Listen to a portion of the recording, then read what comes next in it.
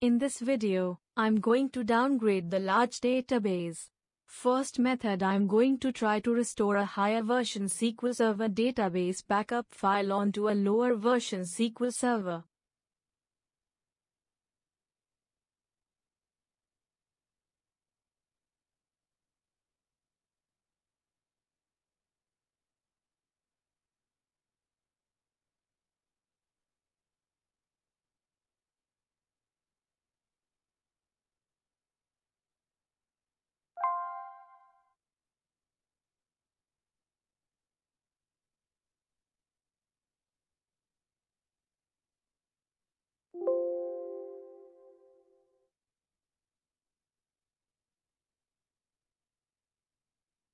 This method fails.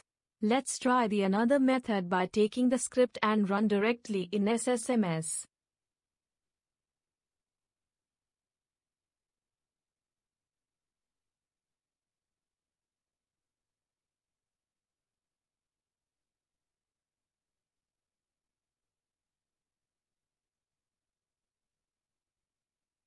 Select the version you want to downgrade and select schema and data.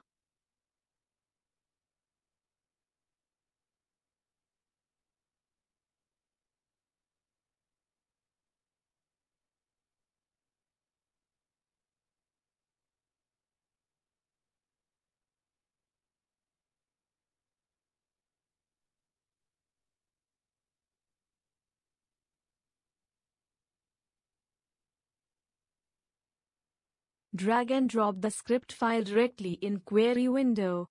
Create the database and run the script.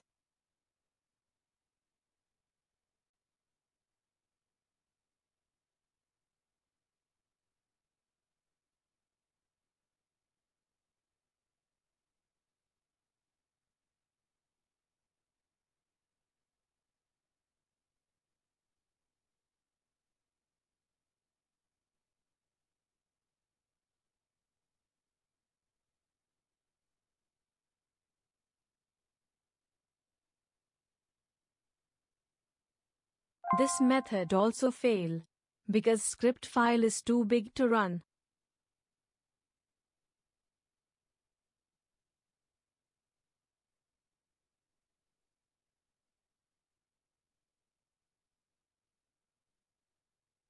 We can accomplish these tasks with SQL command.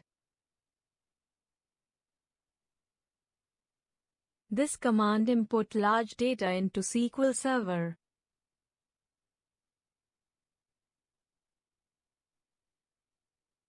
Change the server name, DB name and script name.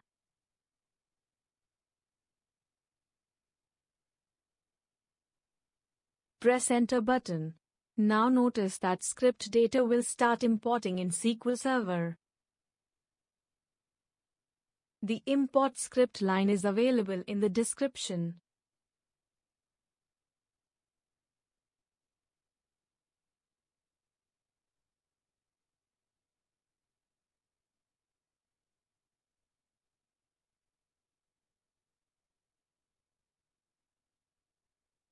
The import process will take time based on the database size.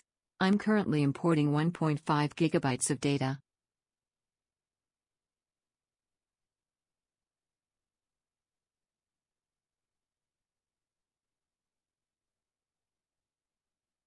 Data imported successfully. Now we will select one sample table for testing.